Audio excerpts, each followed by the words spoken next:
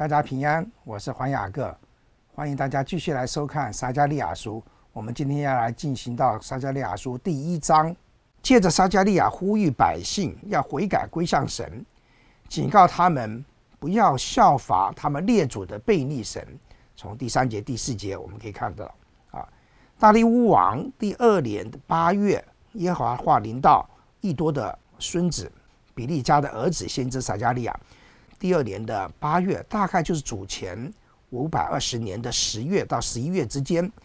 看到了先知那个时候，哈该已经开始对百姓说的第二个信息的，我们可以参考哈该书的第二章啊，那里哈第一节开始。那益多的话，他的祖父益多的话，是他这边提到他的族谱，在旧约里面也有很多人的名字是叫益多。那最重要的话，我们可以在尼西米十二章四节这边提到这位益多，他是在主前五三八年，也就是第一批跟着所罗巴伯还有大祭司啊约书亚一起归回的这一批人。那如果说这个益多是这跟尼西米十二章那里讲的益多是同一个人的话，那么撒加利亚的出生应该是就是出生在显赫的祭司家庭。第四节这边讲，你们不要效法你们列祖。因为从前的先知呼叫他们说：“万军之耶和华如此说，你们要回头离开你们的恶道恶行。”他们却不听，也不顺从我。这是耶和华说的，勉励百姓要离开恶道恶行，不要向你们的列祖去效法。第六节这边讲到我的言语和律律，这边指的是有关上帝他行惩罚呃这些作恶的人的这些的律法。他们就回头说：“万军之耶和华定义按着我们的行动作为，像我们怎样行，他已照样行的。”所以这里的话，意思就是说，他们的列祖已经受到了惩罚了，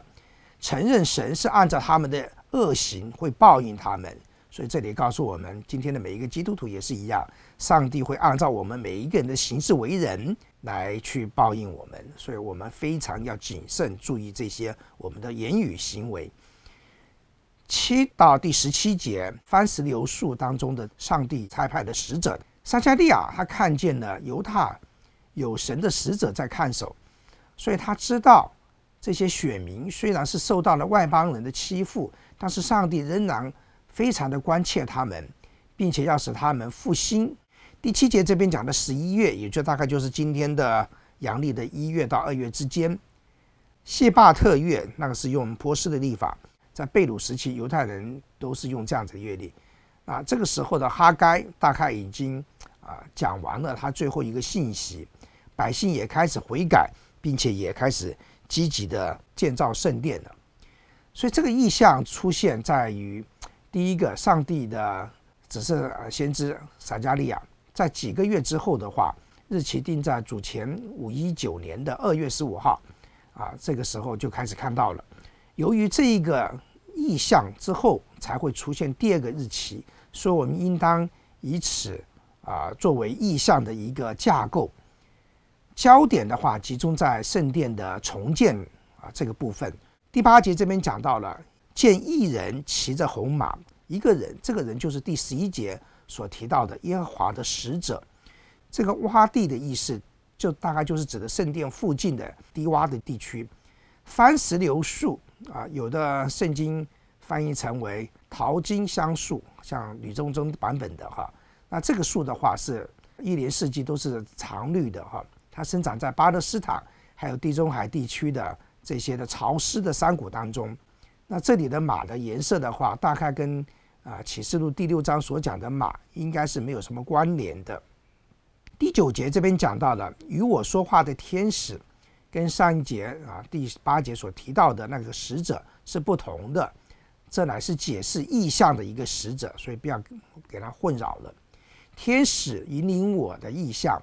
天使他不仅是传达神的信息，也解释了这个信息的，并且他回答了有关这个信息的一这些问题。因此的话，我们在大英理书第八章十六节可以看得到，加百列向大英理解说了有关大英理所看到意象的这个能力。所以，从古代的多神主义的这些的脉络，神明的使者通常就是指着阶级比较低的一些的神明。第十节这边讲到了人也就是耶和华的使者，受差遣前往遍地。波斯他们帝国那个时候的信差都是骑马的，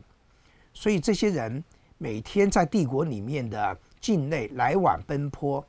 维系着古代的一些世界他们最有效的这些的信息的联络啊。番石榴树的话，它就是指出在宫廷的花园当中的一个景象。第十一节，全地都安息平静。虽然波斯帝国在大力乌王登基的时候，很多地方都啊叛乱四起，但是这些叛乱不久就被平定了，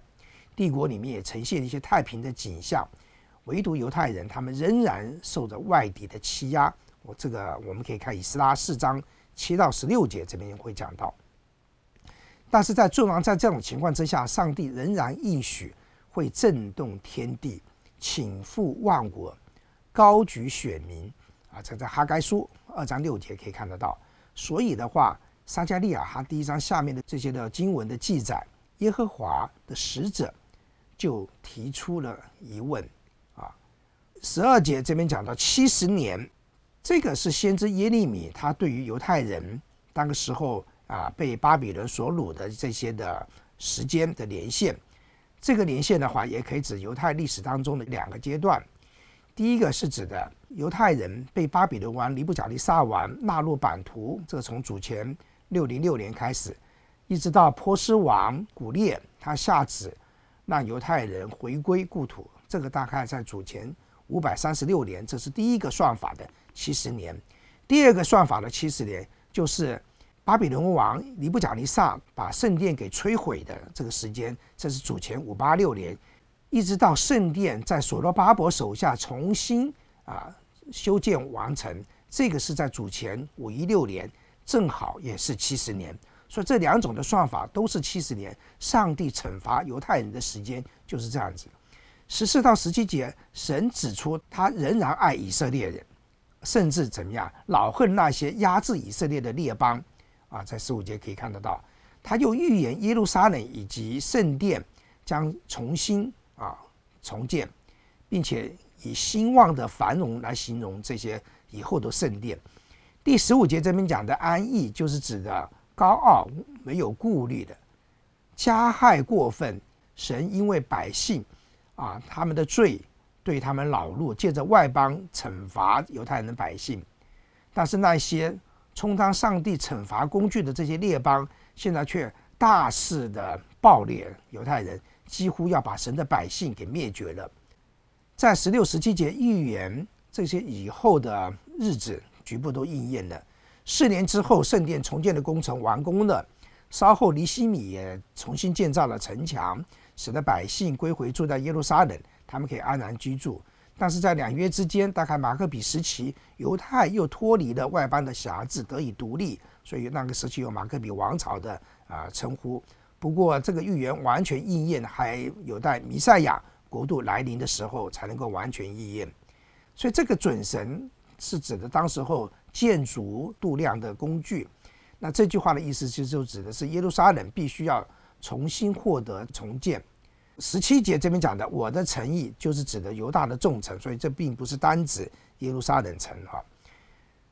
第一章的十八到二十一节又是另外一个段落，四角跟四将。这个是指的犹大，他的仇敌必被灭亡。四角在旧约象征力量或是国家的意思，那在这边代表的要打散犹太人的敌人。有的学者认为，这个四角是象征历史上犹大的四个敌国啊，或者是泛指从四面八方而来的敌对犹太的势力。但有人认为四是代表四个帝国啊，有人四又是指的四个市集。啊，是那敌人出没之处的地方，所以从建造圣殿的脉络来看，所以令人啊可以信服的看法就是，这个角是象征着祭坛的四个角。以色列人归回不久之后，祭坛就已经立好了，但是因为圣殿的重建必须要挪开，所以有人又解释了啊，这个叫二十节四个匠人，这个四个匠人是象征着克制敌人的力量。啊，好像以西结书十四章二十一节他们提到的啊，是个四种的审判一样的哈。匠人或者是工匠，在主前第六世纪末的时候，在巴比伦的神殿里面有很多的这种的匠人工匠，其中有一群的人被称为乌马鲁啊，乌马鲁的意思就是指的是工艺的匠，其中包括了有擅长不同技能的工艺的匠，有些是以木头，有些是以金属，有些是以皮革或者是布料、石头、宝石作为素材，他们在雕塑，所以同样的的名称。在那些啊，据称是有天赋异禀的王室的参谋里面，也有这样子的人。这种人也被啊视为能写出啊一些旷世巨作的这些的贤人。总而言之，这个称呼的话，就涵盖了宫廷、他们的神殿里面的一些的不少的专家。所以，这是我们对于第一章的一些的讲解的看法。我们今天课程到这里结束。谢谢大家的收看，我们下次再见。